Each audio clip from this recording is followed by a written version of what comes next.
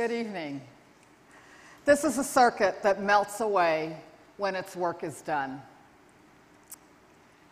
And here is a tool that delves into the deep web and the dark web to find human traffickers. These are the kinds of robots that could one day navigate through a damaged nuclear reactor and prevent a meltdown. This is a vehicle designed to withstand a massive blast so our soldiers can walk away uninjured. And here in my hand, I have a neutron detector and a gamma ray detector. It's small enough that first responders can carry it everywhere, creating a city scale network so that they can detect nuclear materials before a terrorist detonates a bomb. These are just a few things.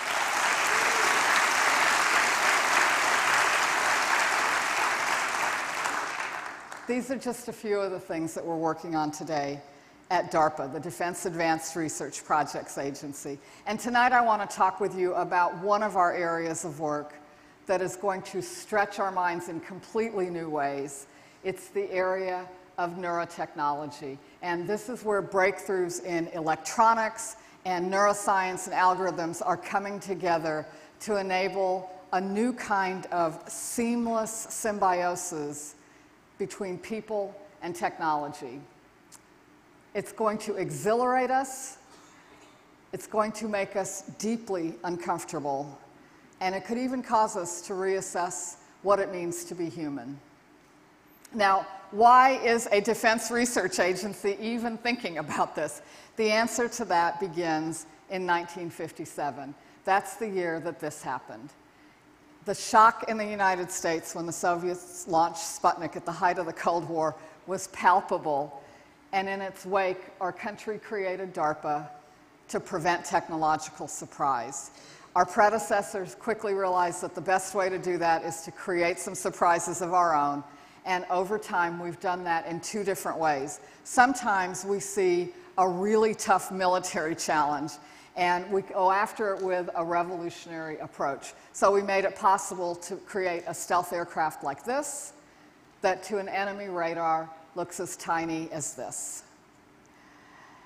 But a different motivation drove DARPA's development of the ARPANET and the Internet of powerful chip technologies and advanced materials. Here we saw bubbling pots of research that were still immature, but that allowed us to dream about groundbreaking capabilities. And with the private investment and the entrepreneurship that followed, we were able to enable the incredibly rich and complex information environment that we're all living in every day. So today, when we see those early signs of new technological surprise, we go after them. And one of the areas where we're seeing those signs today is neurotechnology. Because think about it, we are surrounded by exabytes of data, networks that operate at trillions of bits per second, and, and here, a different, prodigious capability in each of our brains, many tens of billions of neurons able to do things that no computer can do. But our link to the information realm is a keyboard and a mouse. It's sort of like two supercomputers that are relegated to talking to each other like this.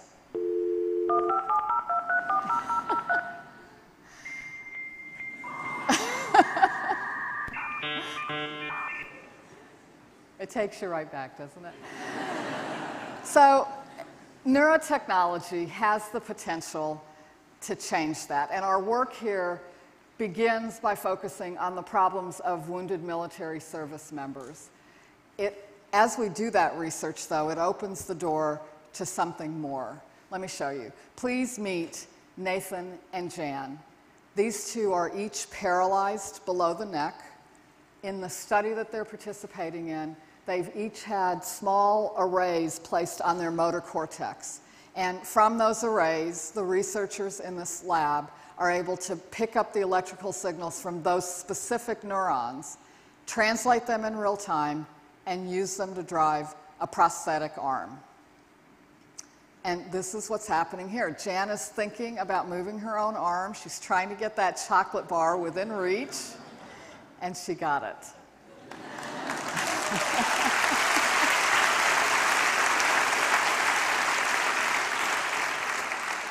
Jan is amazing. And, you know, when she did this, this was the first time since she's been paralyzed that she's been able to feed herself a bite of chocolate. When Jan started this study, that was one of the first things she wanted to do, which tells you about this woman's priorities. I like that.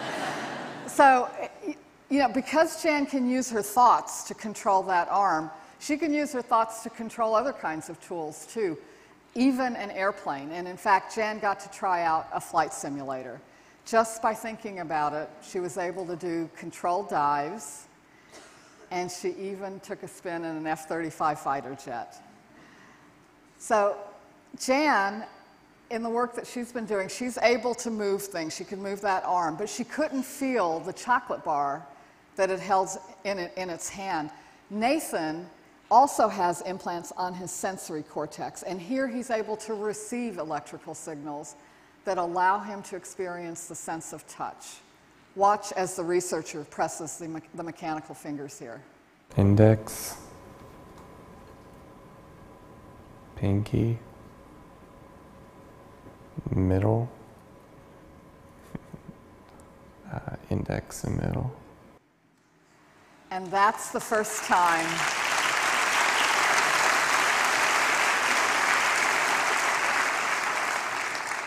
And that's the first time that Nathan has experienced the sensation of his fingers being touched for over a decade. Now, Jan and Nathan are only part of the story of neurotechnology today. We're also working to try to repair the kind of memory loss that can come with traumatic brain injury. And when we do that, we also open the door to the possibility of enhancing memory or accelerating learning.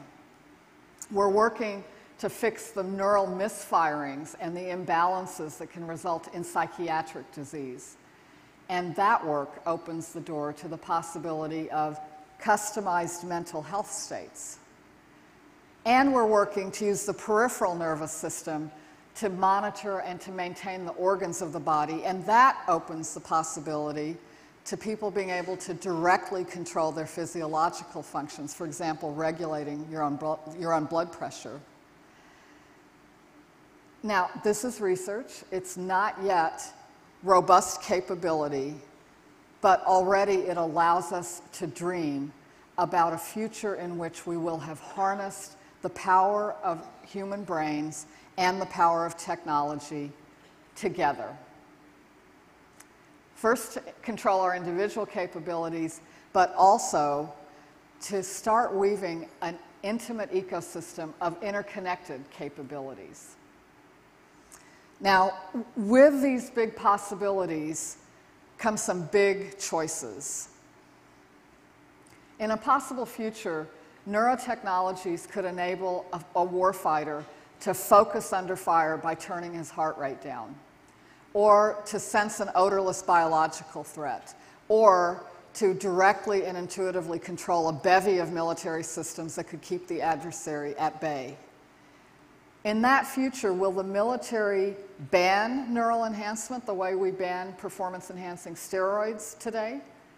Or conversely, is there a future in which neural enhancement becomes a condition of military service?